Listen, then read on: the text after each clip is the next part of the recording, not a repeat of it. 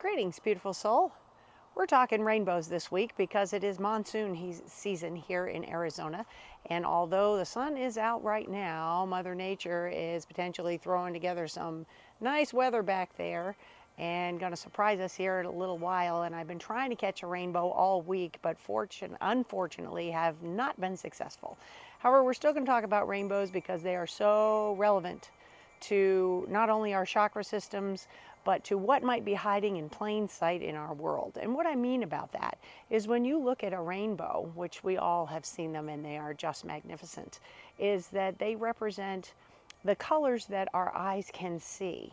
However, if you do a little research, you'll find that there are all kinds of frequencies on either side of those beautiful red, orange, yellow, green, blue, and purple colors, as I reference our chakras also, that we can see with our naked eye, but there's frequencies on either side of the rainbow that we can't see.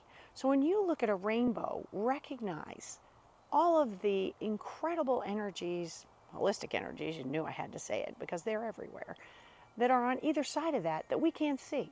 Just like we can't see our chakra system in our body, which starts at the base of our spine and moves up to the top of our head.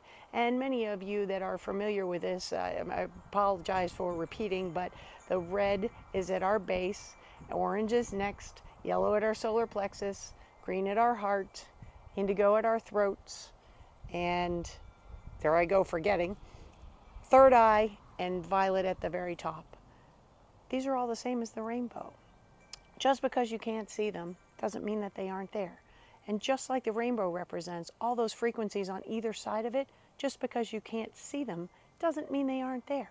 Just like in our world, there's all kinds of things around us, energetics that just because we can't see them with our naked eye, you got it, doesn't mean they're not there. So take a minute, next time you see a rainbow, or even before then, and think about all the stuff that's around you that just because you can't see it, it's there and it's supporting you on your path. So thanks for taking some time here for on our Holistic Energy channel. And don't forget to go over to holisticenergy.net and have a click.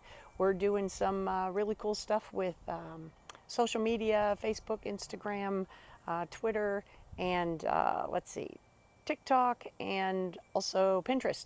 So we'll have some new stuff out there to um, give you some more resources for things like this that are topics just because you can't see them doesn't mean they're not there.